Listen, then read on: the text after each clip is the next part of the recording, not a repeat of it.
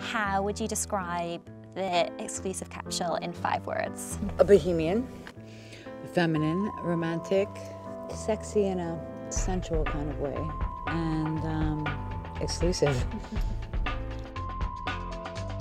I never really know uh, where my inspiration comes from. It's never really that direct. I think it's, I'm moving around the world so much that I'm getting like little bits from all these different places.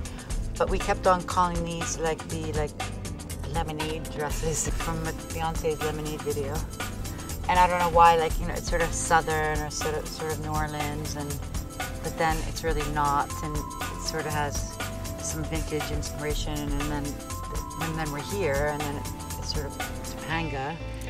The LMF girl is she's a girl and a woman and we call the clothing we call it destination wear we don't call it ready to wear and I prefer clothing that I can bring around the world with me in many cultures and many many climates something I, I would wear in Morocco, I could wear here. I like that, you know, even if I bought something from another brand. I always think about what I would like to have and what I don't have. And I mean, this is a real lifestyle brand. All of the references from the, uh, the way we construct the swimwear, all the thought put into it is really coming from a fashion point of view, but it's not like fashion victim.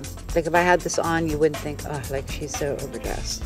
Yeah, or that it's specific to a season or No, a certain, yeah, you know, it's yeah. very, I think the It's nice thing about it is it's very timeless.